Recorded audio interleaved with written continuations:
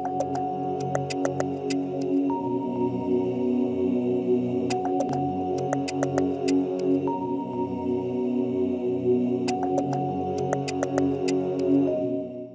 going to begin rather quietly because I don't want to disturb my great nephew, Roger. He's just outside, out in the woods. It rained last night, and he loves the woods when they're rain drenched.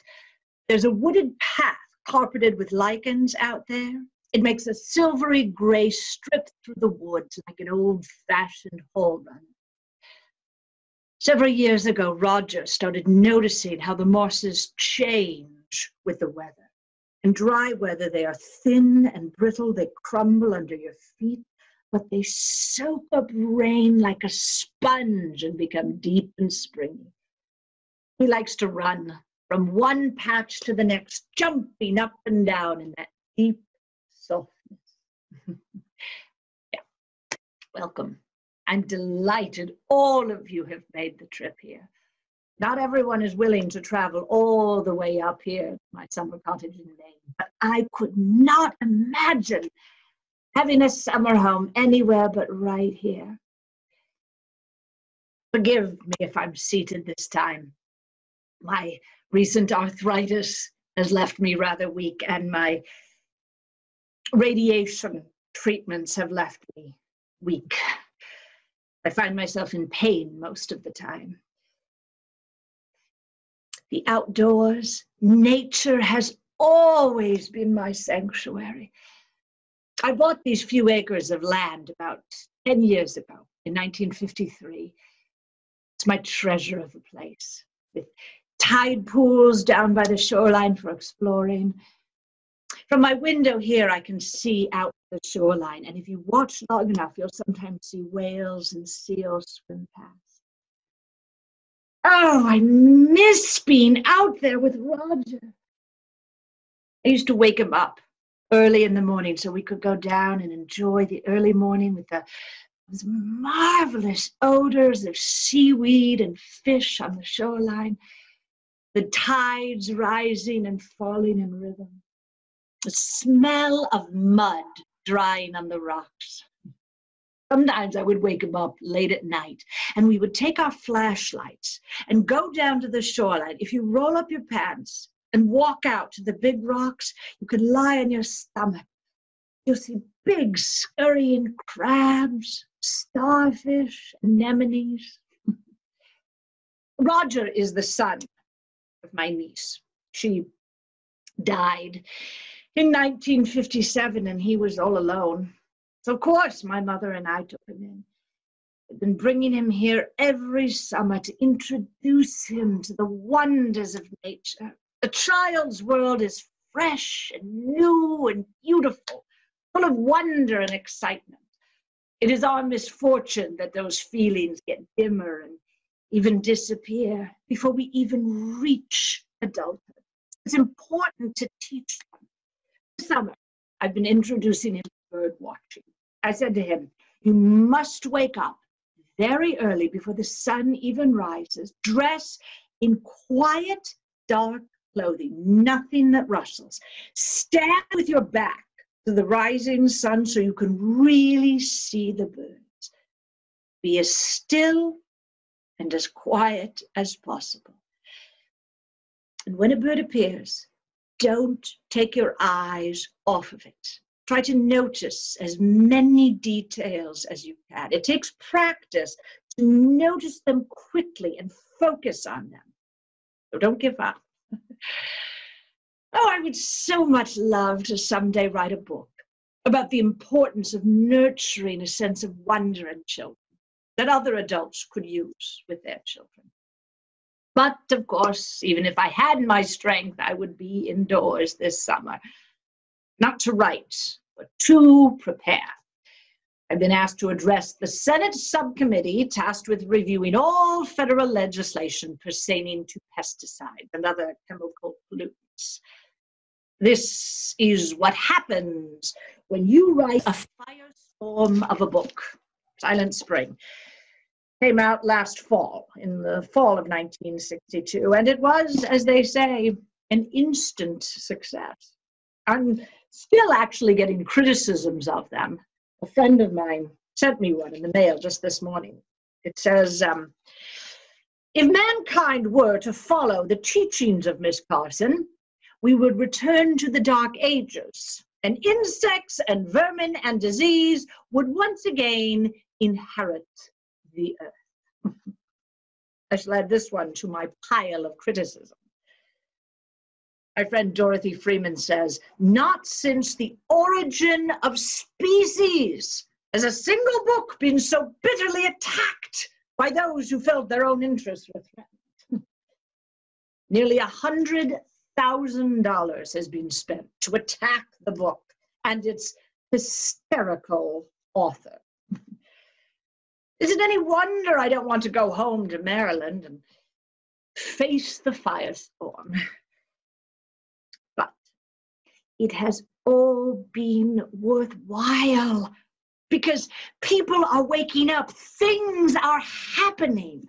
A group of people living on Long Island recently voted to cancel aerial spraying of their beautiful island for pesticides. This is good. A sense of personal responsibility is desperately needed.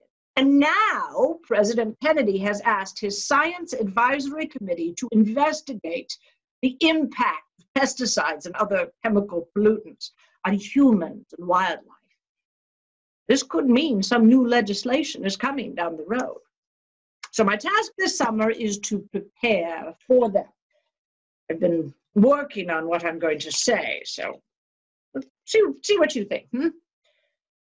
People say these pesticides would not be for sale if they weren't safe. simply isn't true trusting so called authorities is not enough. Personal responsibility is needed. My recommendation is not the elimination of chemical pesticides altogether, but rather moderation in their use. I recommend stronger pesticide warnings, and I recommend a cabinet level agency to regulate pesticides and other chemical pollutants.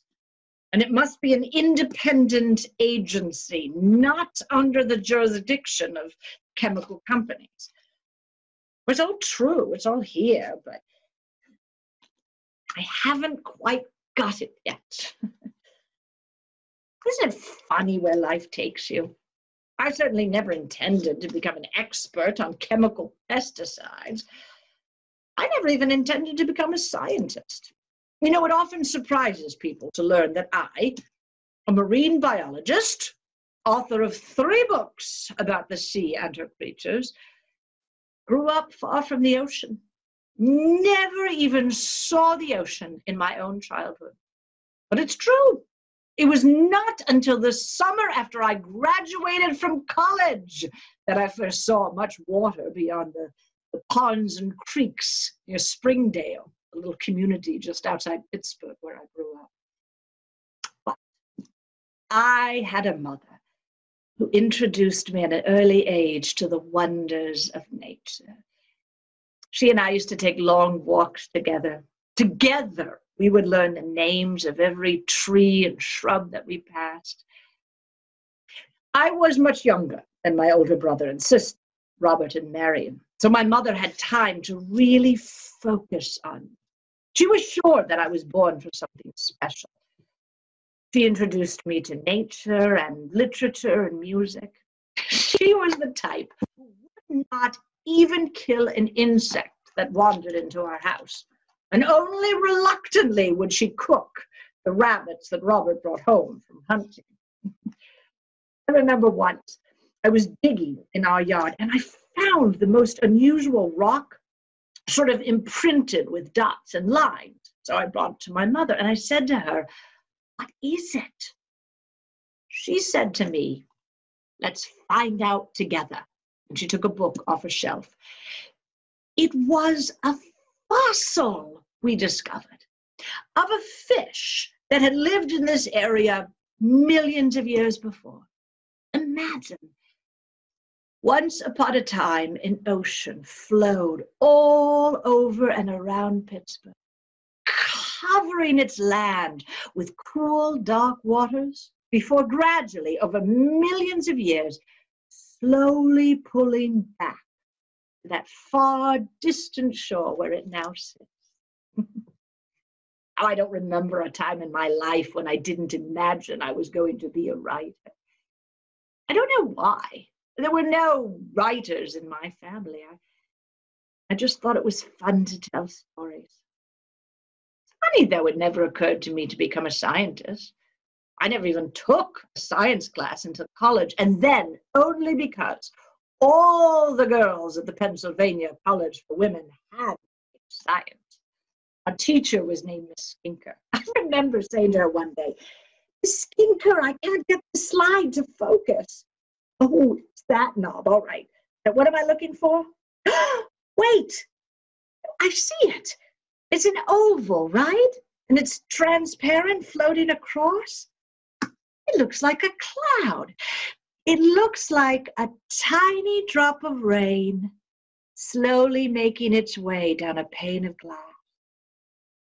And that one tiny single celled organism, she showed me that I could see the whole complexity of the universe captured under glass.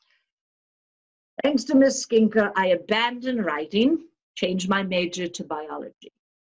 I completed my master's degree in zoology at Johns Hopkins University, spent several summers at the Woods Hole Institute. I thought I had given up writing forever. It never occurred to me I was just getting something to write about. It'd be nice to tell you that this was it. I got my degree and I became a scientist. But this was the Great Depression. Jobs were scarce and my father never had much money. He meandered from one job to the next, never staying in any job for long. He died when I was still in my 20s.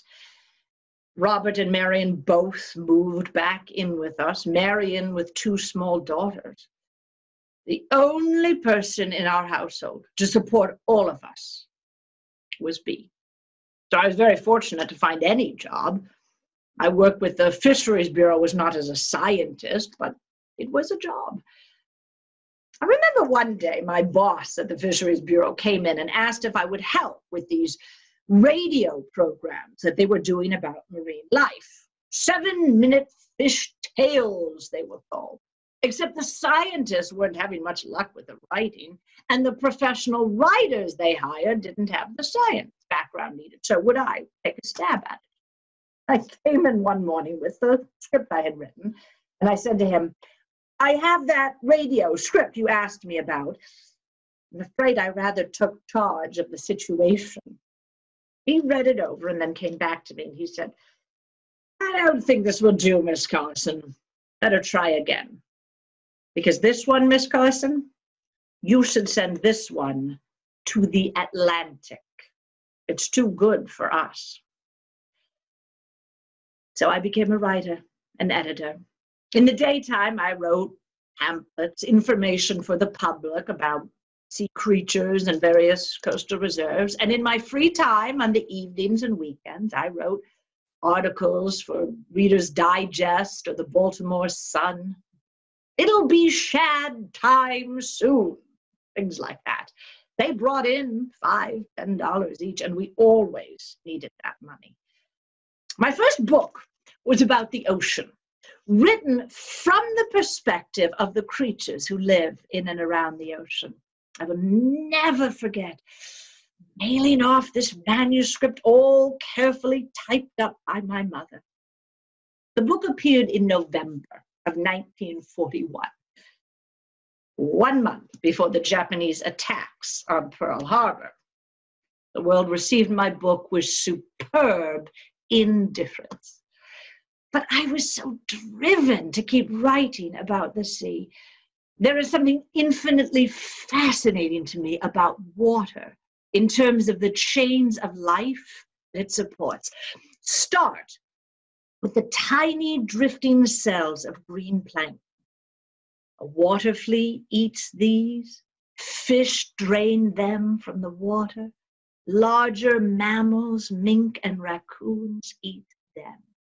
It is an endless, endless cyclical transfer of material from life to life.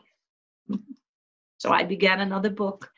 This one I decided would be a sort of biography of the world's oceans. Not very humble of me, I suppose. But the sea is so full of infinite mysteries. The great white shark lives there, 2,000 pound killer of the sea. And the 100 foot blue whale, largest creature known on earth. It is also home to creatures so infinitesimally tiny that you can scoop into your two hands as many of them as there are stars in the Milky Way. One day when I was researching the sea around us, Roger and I found a starfish down at the shoreline that I brought home to study all day. And that night, I told Roger we must bring it back the place where we had found it. Every creature needs its own habitat to survive. Every creature is a link in the vast chain of life. That book, The Sea Around Us, was on the New York Times bestseller list for 86 weeks. It was number one for 32 weeks. Many people have expressed to me their surprise that a book about science could have so many popular sales. Science.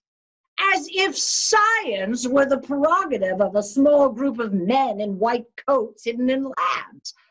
Science belongs to everyone. The beauties and mysteries and wonders of science are the beauties and mysteries and wonders of life itself thanks to the sea around us, I was able to leave government work, become a full time writer, a dream fulfilled. Of course, fame does have a downside. I was now pestered by people everywhere I went. One day, I was at the hairdresser, my inviolate sanctuary, but as I sat there, the salon owner came marching over, snapped off the hairdryer to say an admirer was here and needed my autograph immediately.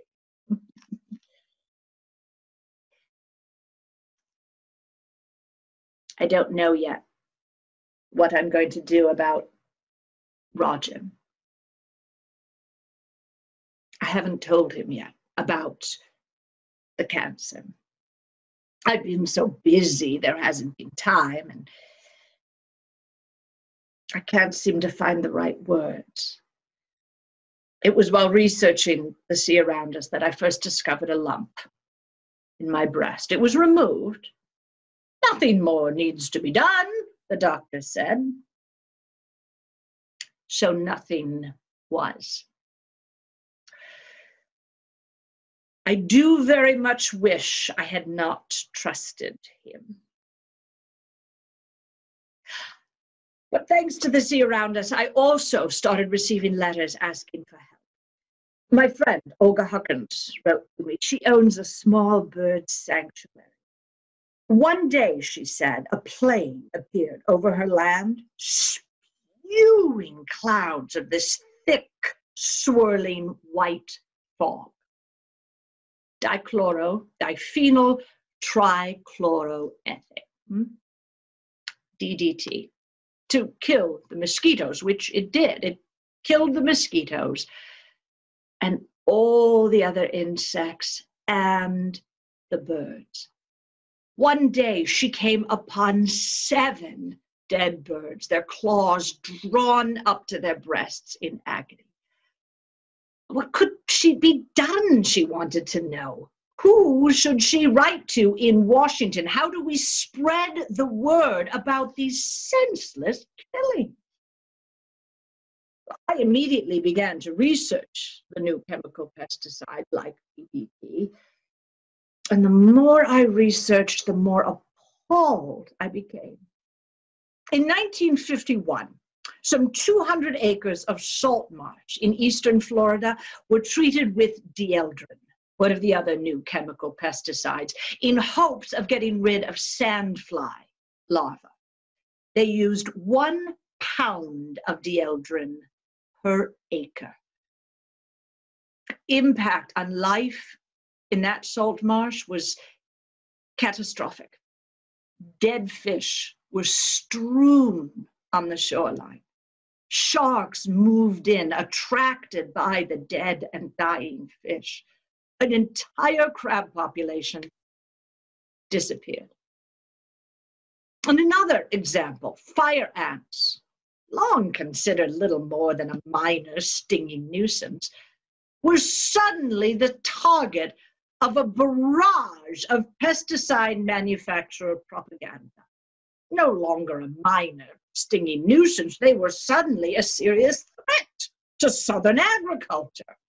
A mighty campaign began to treat some 20 million acres in nine southern states for fire ants.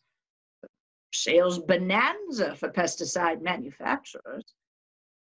They used dieldrin and heptachlor, both new chemicals. Few studies had been done on either one. No one really knew what the impact might be on human environment. What was known was that both were many times more toxic than DDT. The result? Losses running all the way up to complete destruction of wildlife. Livestock, poultry, pets, all killed. In one Texas county, a large population of armadillos and raccoons virtually disappeared. No species was spared. And when scientists later examined the bodies of dead birds, they found high concentrations of heptachlor. It's not difficult to see why. Woodcocks, which winter in Louisiana, eat earthworms, digging for them in the grounds with those long bills. Surviving earthworms in Louisiana had high concentrations of the fire ant chemicals my friend Dorothy Freeman, she warned me. She said to me, chemical companies will hate you. They're rich and powerful. They will do anything to turn people against you. I know, I told her, but there would be no peace for me if I kept silent. How could I ever again listen to a cardinal song in peace? but what to do and how. I was a marine biologist and a writer, not an expert in chemical pesticides. I wrote every scientist I knew, begging them to take up this cause. E.B. White would have been marvelous at capturing not only the danger, but beauty under threat. None of them would take it on. So I came to realize I would have to write this book myself. And it would have to be a book. Chemical companies rely too heavily on advertising from, I'm sorry, magazines rely on chemical companies for their advertising. So, to begin, you start with a blank sheet of paper, an empty page, the beginning. Words, words, words, words. Mm. In nature, nothing exists alone. Now, mm, the more I have learned about chemical pesticides, the more appalled I have become. No. I'm a perfectionist when it comes to writing. I agonize over each sentence, revising paragraph by painstaking paragraph.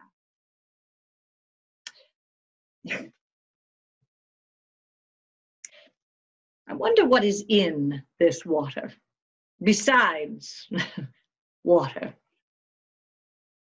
Hmm. What was it that Tennyson said once? Mighty wind arises, roaring seaward, and I go.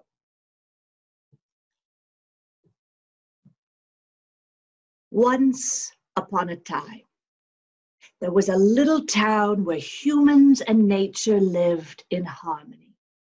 The town was surrounded by farms, golden fields heavy with grain, and hillsides covered with fruit trees that in spring bore sweetly scented white blossoms. In autumn, the maple and oak trees created vivid colors that blazed against the green pines.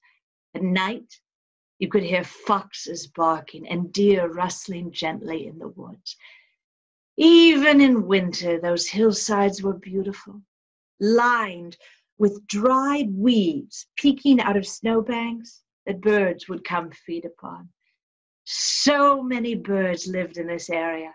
People would come from miles around just to enjoy the beautiful colors and those soft songs. Then something evil arrived. Farmers began to whisper about strange illnesses in their families. Suddenly, chickens and sheep were becoming ill. Several children fell ill while playing and died just hours later. It was all suddenly so quiet. Where were the birds? The bird feeders were deserted. The mornings, which had been filled with the songs of robins and jays and wrens, there was now suddenly no sound, just silence all across those yards and fields and woods. It was a spring without sound, a silent spring.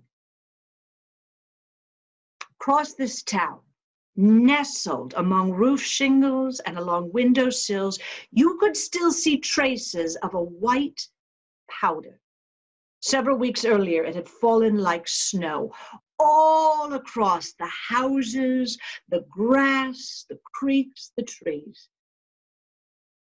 No war had swept across this area. No witches had put a curse on new life here. The people had done it to themselves. What town am I describing? any of a thousand towns in America. None of them has seen all of these tragedies, but every one of these misfortunes has happened somewhere. And many communities have seen many of them. An ominous presence has quietly appeared among us. This imaginary disaster could easily become reality for all of us. That was it. That was how Silent Spring would begin. You know, we didn't always call it that. My editor at first suggested we ought to call it At War with Nature. Perhaps a bit belligerent, I said. Well, how about Man Against the Earth or Dissent in Favor of Man? we tried so many titles that my literary agent, Marie Rodell, finally said we were just going to have to call it Rachel Carson's next book. But then she told me to reread that first chapter about the spring with no birds, and that was it. Silent spring. I signed a contract with Houghton Mifflin. They asked, could I deliver the manuscript in seven months? I said, yes, yes, of course two and a half years later, I was still researching. There was so much to learn. Here's another example our national symbol, the bald eagle, whose numbers have been declining at an alarming. Something is happening in the bird's environment that is affecting their reproductive capacity. What is it? No one knows. But many signs point to chemical pesticides an ornithologist living on the western coast of Florida, found and banded about a thousand young eagles between 1939 and 1949. He banded them as young birds before they even left the nest. And later, When he recovered the birds, he discovered they had traveled north as far as Canada before returning to the south in the winter. In his early years, he might find a 100 active nests. He might band up to 125 young eagles. But starting around 1946, the numbers of young birds began to decline. Some nests had no eggs, and some had eggs that had not hatched. In 1953, he searched a hundred miles of coastline before finding and banding one eaglet. Other observers confirm this trend so strongly, it may be necessary for us to find a new national symbol. Over and over, we hear the same report. Occupancy of some nests by adult birds, some eggs appearing, but very few young birds, or none at all. Something is affecting the bird's reproductive capacity so extremely that there are almost no yearly additions of young birds to maintain the species. And, other places have also seen shocking numbers of bird deaths. In England, huge numbers of birds died after eating seeds treated with pesticides. And not only birds died, but foxes as well. And foxes are necessary to keep down the rabbit population it is not difficult to see why wild birds are valuable to us as members of the ecology in which we all live. Here is what I would like to know. Who has placed in one pan of the scales the leaves that might be eaten by insects, and in the other pan, these pitiful heaps of multi-hued feathers, the lifeless remains of birds that died before the unselective bludgeon of insecticidal poison.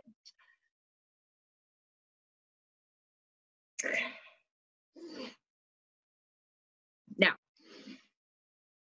you might very well argue that I should have footnoted everything in this book, but this is a book that must persuade as well as inform.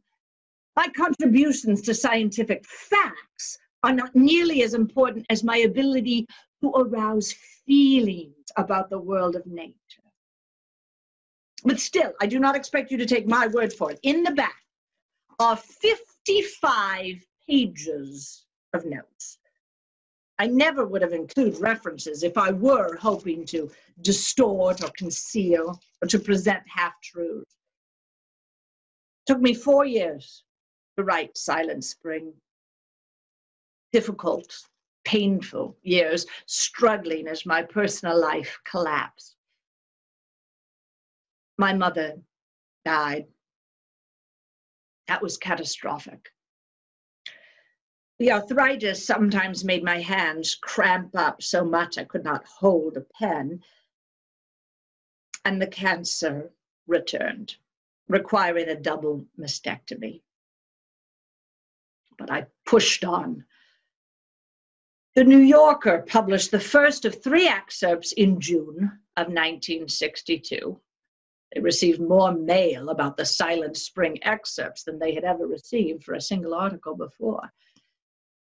And that fall, the book itself appeared. And almost immediately, criticisms began to arrive. I have some of my very favorites here with me. Isn't it just like a woman to be scared to death of a few little bugs? This one notes that I'm a spinster and says, Now, what is she so concerned about genetics for? This book is part of a communist conspiracy to destroy the agriculture and economy of these United States. And this one, which might actually be my favorite, no one at either County Farm Bureau office who was spoken with today had read the book, but all disapproved of it extremely.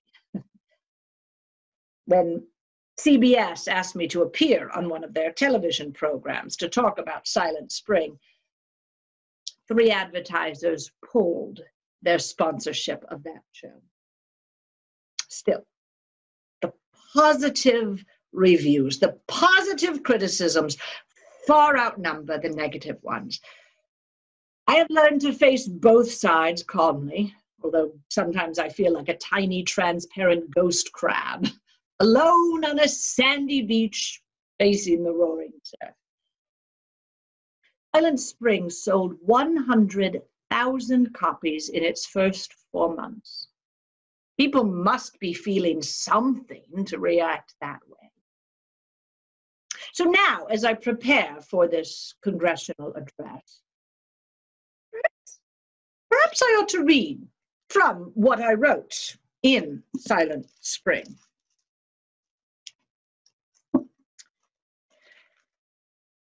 These sprays, dusts, and aerosols are now applied almost universally to farms, gardens, forests, and homes. Non selective chemicals that have the power to kill every insect, the good and the bad, to still the songs of birds and the leaping of fish in the streams, to coat the leaves with a deadly film, and to linger on in the soil all this, although the intended target may be only a few weeds or insects.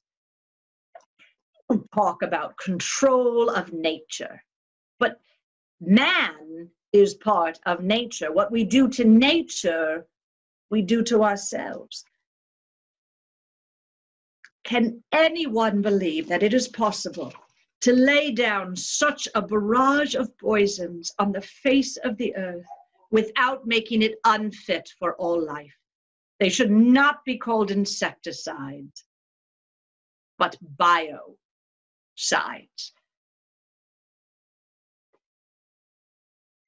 Question, of course, is whether to mention my own sickness, this cancer that is eating away at me. No, no, it cannot be mentioned. I wrote a great deal in Silent Spring about the impact of pesticides on cancer. I do not want anyone to say that I have a vendetta because of a personal problem. I would like to inspire feelings in those senators, but not about me, about nature. I, I truly believe it is not half so important to know as it is to feel.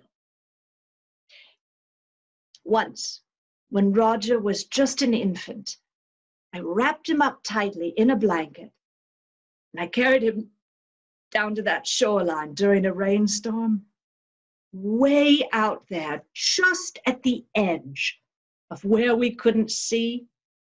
Big waves were thundering in, dimly seen white shapes that boomed and shouted and threw great handfuls of white foam at us. Together we laughed for sheer joy.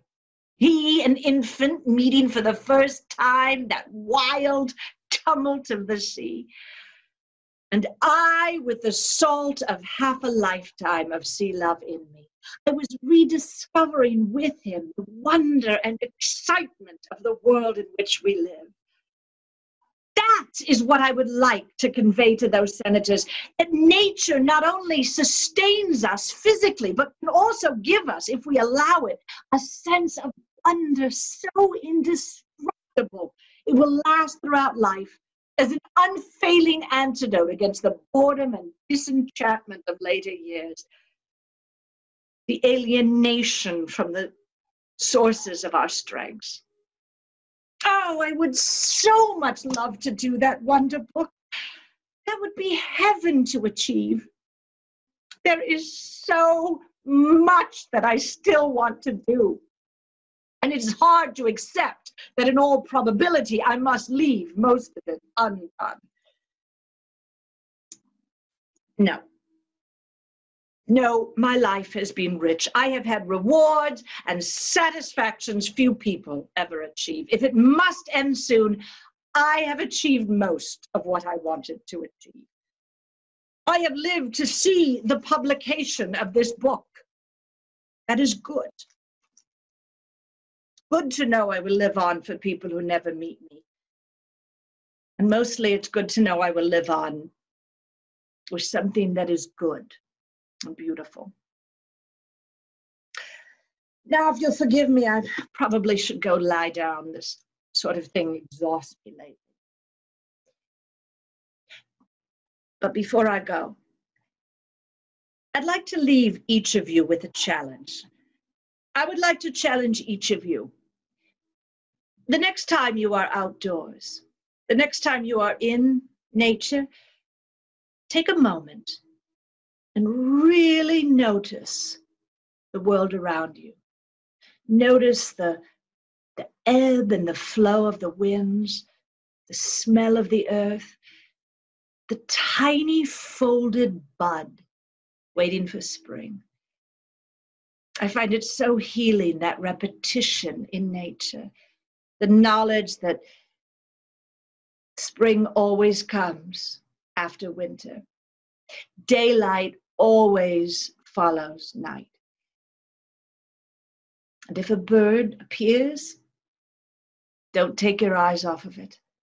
Watch it until it lands on a branch or even on the railing of your city apartment balcony. And ask yourself this What if I had never seen this before? What if I knew I would never see this again?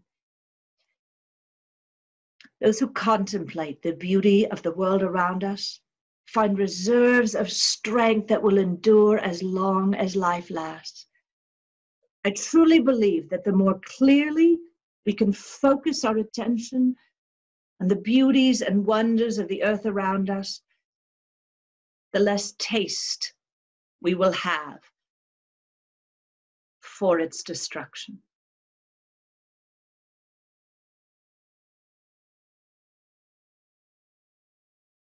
Oh, I'm coming back now. Uh, very quickly, I'm coming back as Leslie Goddard. Forgive me, my hair has been up in a wig. But I want to finish up very quickly. Uh, first of all, to, to answer a couple of questions that might have come to mind while I was talking. Uh, Rachel Carson, who was born in 1907, she published Silent Spring in 1962. She only lived 18 months. She passed away in April of 1964. She did live to see the President's Science Advisory Committee report come out. It vindicated all of the science and the arguments that she was making about these pesticides. So she did live to see that. She did not, unfortunately, live long enough to see the great flourishing of environmental activism in the late 1960s. She did not live to see the first Earth Day in April of 1970, uh, the Clean Air Act, the Clean Water Act, the establishment of the EPA in 1970, which had been one of her great dreams, or the banning of DDT in 1972. However, the legacy that she has left behind is phenomenal. Silent Spring is still in print today. It has sold an estimated 2 million copies since 1962. Still selling, it sells at a rate of about 20,000 a year now. When you hear interviews with the founders of Earth Day, they say, you know, all of the environmental work got started in 1962 with the publication of Silent Spring. Now, there were a lot of other scientists who supported what Rachel Carson was saying, and there were certainly plenty of other environmental issues in the 60s. You might remember all the pollution. Do you remember the when the Cuyahoga River in Cleveland caught fire because of all the pollution in it, and when um, Hootie the Owl? Do you remember? Give a hoot, don't pollute. All of that. But Rachel Carson is generally recognized today as the person who stirred the pot more than anyone else. Um, but her legacy, actually, I think her legacy goes well beyond what she did about chemical pesticides. It goes beyond the publication of Silent Spring. Her greatest legacy, I think, is a big paradigm shift because in the post war era, the post World War II era, there was this general belief that mankind can control nature. Do you remember the um, what was it? That DuPont Chemicals slogan, "Better living through chemistry." There was this sense that mankind is gaining control over nature. It was Rachel Carson who really stepped in and said, "We are not." above nature able to control it. We are part of nature. What you do to one part of nature, you do to humans as well. That viewpoint that we're inextricable, we're all in this together, is uh, a mindset that's pretty widespread today. That mindset is huge, and it's probably due to Rachel Carson more than anyone, as is the fact that we now use integrated pest management, which is what she advocated. Monitor areas for pests, judiciously use chemical pesticides where absolutely necessary in minimum qualities, quantities, and pursue other, um, other forms of pesticides where it's possible. That's what she what she advocated, um, and that's why if you remember growing up, if you grew up in the in the 50s and 60s, you might remember seeing the trucks with DDT coming down the street. Uh, you know, sometimes the kids would be running in and out. You know, let's feel the the DDTs swirling around us. Uh, we don't see that anymore. The issues continue. Pesticide use continues. We still have a fight between uh, major industries uh, with a lot of money at stake and uh, humans who care about the environment. What we have from Rachel Carson is the reminder that ordinary citizens, uh, grassroots people who love our planet, who love birds, who love trees, they can make a difference. And it makes a difference by falling in love with the world around you if anyone's interested um, in reading and learning more about Rachel Carson, there is a wonderful DVD that was put together by PBS. Um, it is available. You can certainly buy it through Amazon, um, and library collections often have it. The book I recommend most, if you're interested in a biography of Rachel Carson, there's a wonderful biography by a woman named Linda Lear called Rachel Carson Witness for Nature. This is sort of the standard biography of Rachel Carson today. Um, and of course, if you really want to get to know Rachel Carson, Silent Spring is indispensable. Uh, the science today was cutting edge science in 62. It's become outdated today. You really get a sense of what an incredible writer and storyteller she was. Um, and same thing with a book like The Sea Around Us, which is uh, wonderfully captures her love of nature, even though science has evolved. Um, these books still matter today. So, thank you all so much for listening and uh, enjoy your time in nature. Bye bye.